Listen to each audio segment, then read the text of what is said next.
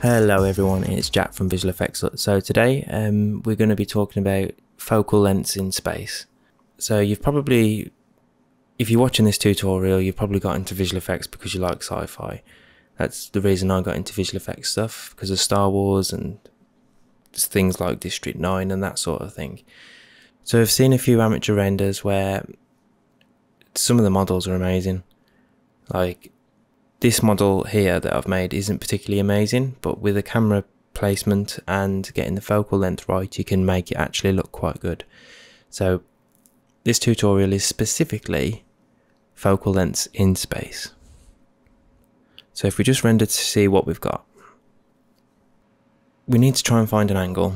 So you kind of want it to fill the frame, so you'd probably go right up to it like this. And have something like that.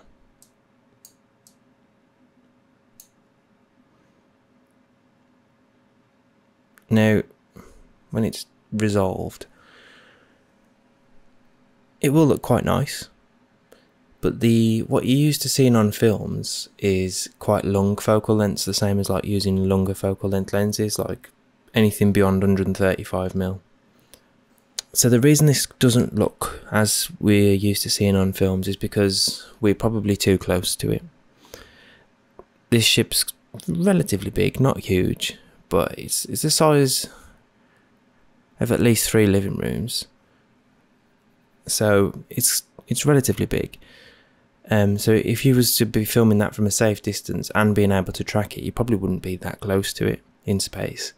So I think where it originated from on like things like Star Wars and stuff is they used longer focal length lenses, so it looks like you're actually filming from another spaceship, or even if you're just an astronaut floating in space, you're not right by the ship, so you'd need to zoom in to get that kind of look. So I think that's where it stems from. But in doing so, it compresses the image and makes the whole spaceship a lot better looking. So let's demonstrate that for you.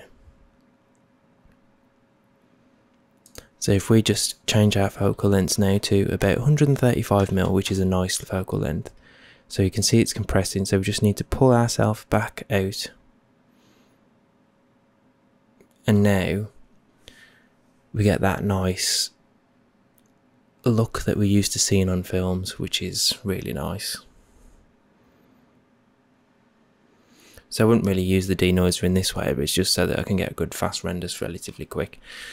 Um, so yeah, you can see that it definitely looks a lot better, even though it's not necessarily a brilliant model, but it just makes it look and feel more filmy. So flicking between the two, you can definitely see the difference. Um, but that doesn't mean that you can't get close still, because you can create some pretty looking, pretty cool looking renders by getting close to your ship with a lens like this. But let's just push it one step further and go for another focal length, which is about 200mm, which is another cinematic one that's quite zoomed. And see if that makes that much difference.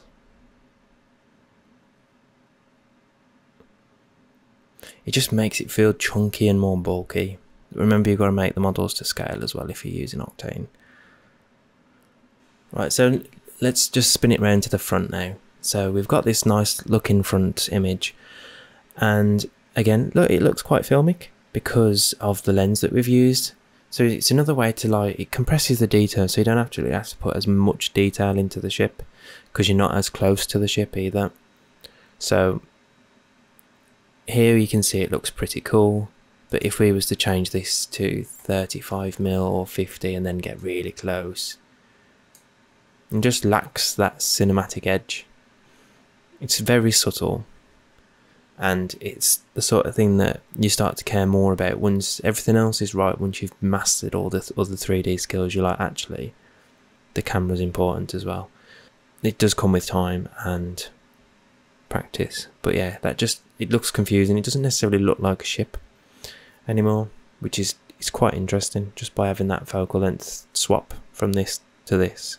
And it changes the whole feel of the image so this year, hopefully, we're going to do a lot more tutorials, more visual effects, and more actual filming stuff as well. So if you like this sort of content, just drop us a comment or a like, and we can probably produce similar stuff to this for future things. So hopefully you found it fun, and we'll catch you on the next one.